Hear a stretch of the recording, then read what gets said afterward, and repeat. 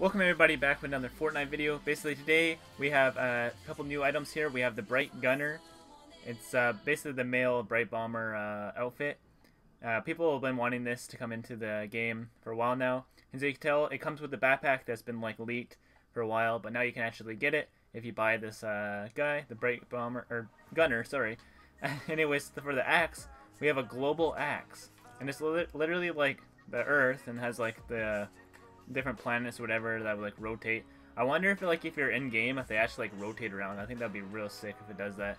Think globally axe globally. That's pretty funny. Global axe.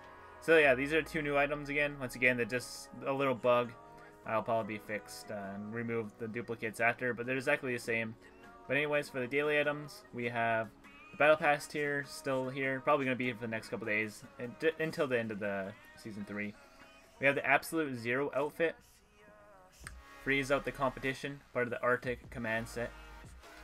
Uh, we have the dab emote, the electro shuffle,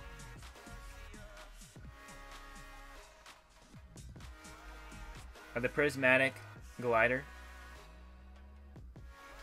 and the icebreaker harvesting tool. So yeah, the daily item's pretty sweet, but yeah, basically this is what a lot of people were wanting was this brite gunner uh, outfit, as well as you get the backpack and all the good stuff and then the global axe harvesting tool. I really like the the axe; it looks kind of sick. But anyways, let me know if we're gonna be getting uh, any of the new items or any of the daily items. Uh, subscribe if new. I want to try seeing if we can hit 1,100 subs before uh, May. So if you are new, definitely drop a sub, share the channel around. And other than that, hope you guys have a good day, and we'll see you next video. See ya.